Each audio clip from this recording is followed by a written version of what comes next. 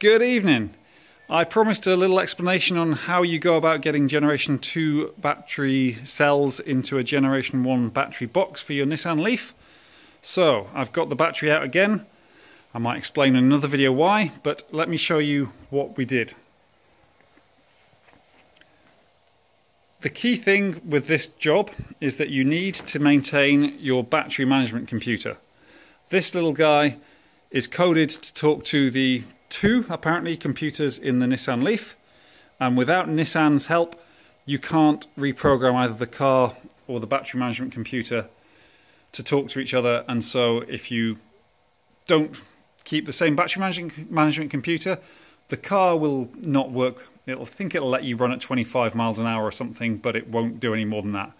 So that battery management computer is gold. Don't destroy it, and so unplug it. First thing you do, unplug it. So you take that off, and then you also need to get the batteries out. Obviously, you need to get the batteries out of your Generation 1 case.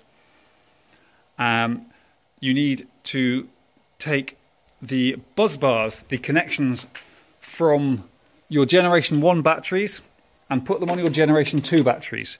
So you don't need to take the structure apart, you don't need to actually separate the cells, but you do need to take these Generation 2 bus bars off and put the Generation 1 bus bars back on because they've changed the wiring. So here on the Generation 2, that's where the connector to go across the pack, the equivalent of this, is.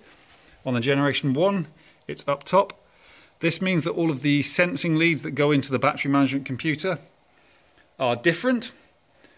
And so if you do like we did, just assume that you can put your Generation 1 computer onto your Generation 2 loom. That guy gets cooked and then you learn all about how to reprogram computers. Won't go into that right now. So you need to do that, change your looms, change your bus bars. You also need to change this. This is a structural support for the main battery cell bank along the back of the battery box. And the generation 2 one crashes directly into the connections on the generation 1 bus bars, and so that's a big short out. So take this off, saw it down, carefully file it, put it back on, that's all good. You also need to keep your temperature sensors from the generation 1. It's real simple. So all of this is real simple stuff. Basically you want the wiring from the generation 1, cells from the generation 2, computer from the car that you're working on. It's all good. Hope that's um, enough detail, but not too long.